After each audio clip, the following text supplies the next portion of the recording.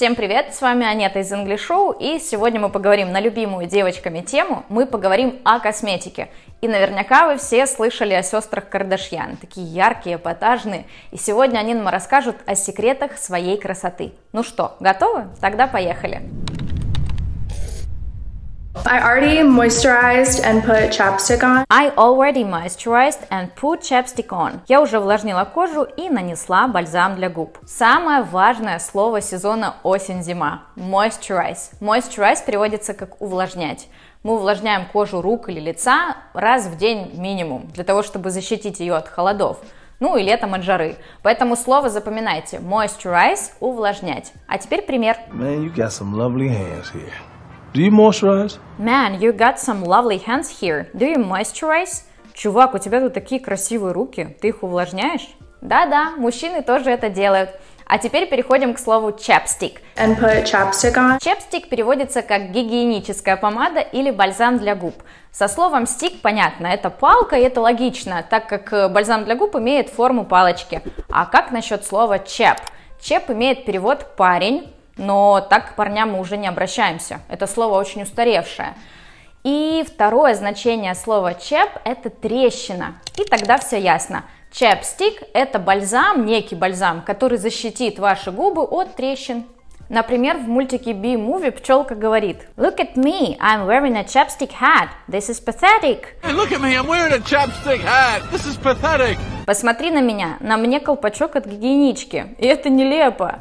И если сейчас вы подумали, почему раньше мы все время считали, что бальзам для губ это лип-балм, то на самом деле я вас успокою, все правильно вы считали. Сейчас расскажу почему. Chapstick is a brand name for lip balm. It is a medicated gel which is mainly applied by people who want to get relief from dry lips, angular cheilitis, stomatitis or cold sores.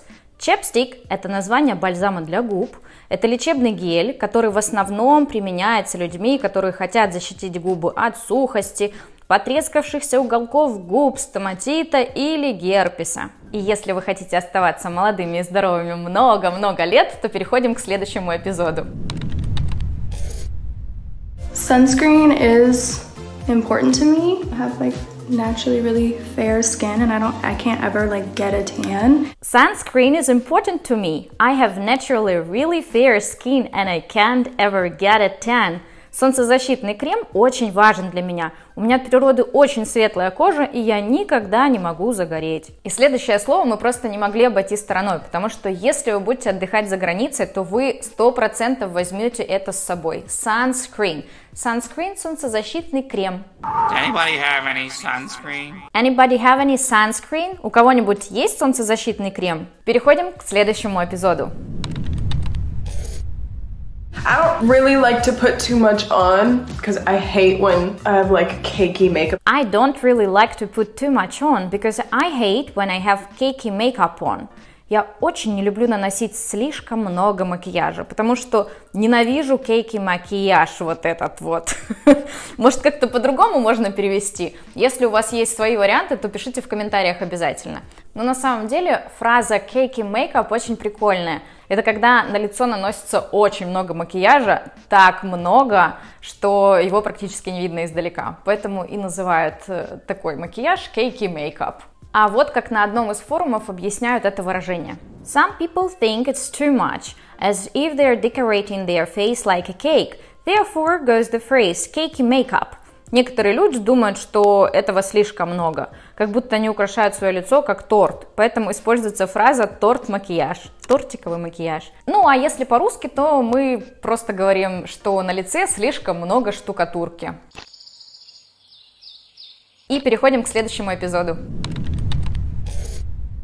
I've done my makeup in cars, in porta potties. I've done my makeup in cars, in porta potties. Я делала макияж в машинах, в туалетных кабинках. Мы только что услышали откровение от Кэндл, но я думаю, что это список не окончательный. На самом деле, давайте сделаем акцент на слове porta potties. Звучит как будто бы марка какого-то крутого спорткара, ну, либо курорта где-то в Испании.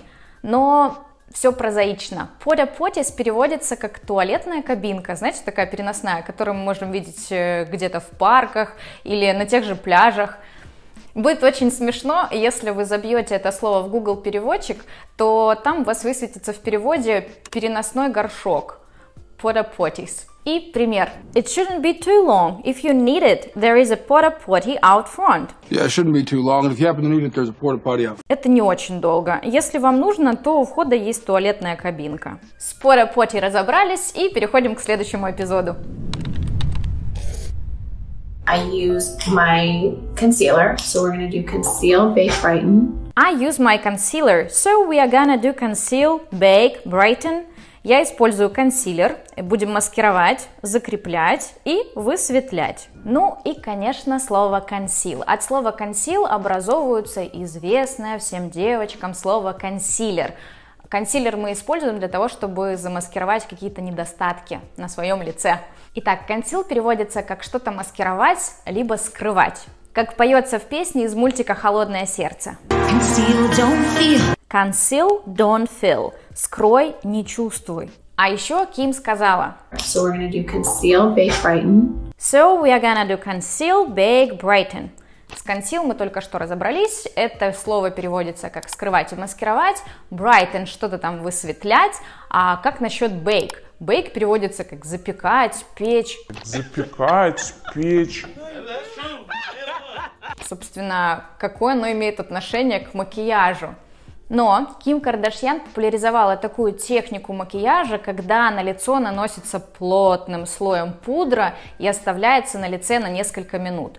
И таким образом она как бы to bake, запекается. Так появился термин бейкинг, который сейчас используется визажистами во всем мире. И если ты визажист или классно разбираешься в косметике, то обязательно напиши нам в комментариях. Кстати, сама Ким дальше объясняет, что это такое бейкинг. And for anyone who doesn't know what it is, baking actually like it's like the powder is like soaking in to your skin and leaving like a residue of like a of color.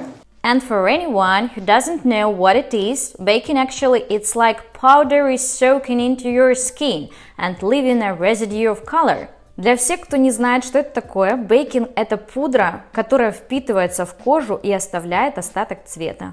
Также давайте разберем слово soak.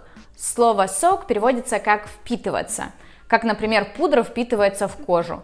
Если вы знаете еще какие-то значения, как можно применить слово soak в косметологии, обязательно пишите нам в комментариях. А пока пример. to soak up my tears. To soak up my tears, чтобы впитать мои слезы. Теперь обращаем внимание на слово residue. Residue переводится как остаток. Вы можете применять это слово как в быту, например, остаток еды в холодильнике, а также в косметике.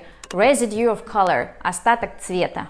И пример. Residue from what? Residue from what? Остаток чего? Следующий эпизод. After I bake, I do cream contour. After I bake, I do cream contour. После бейкинга я делаю контуринг.